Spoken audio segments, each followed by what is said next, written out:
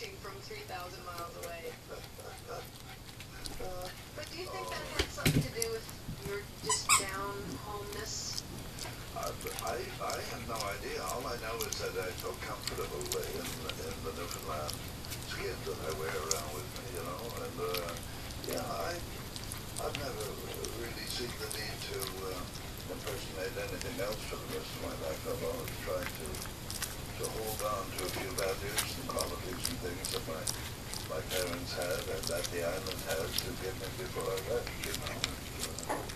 Uh, I've always been grateful for that, and I've always thrilled to go back. And the minute I land, I, I'm uh, Mr. Nobody.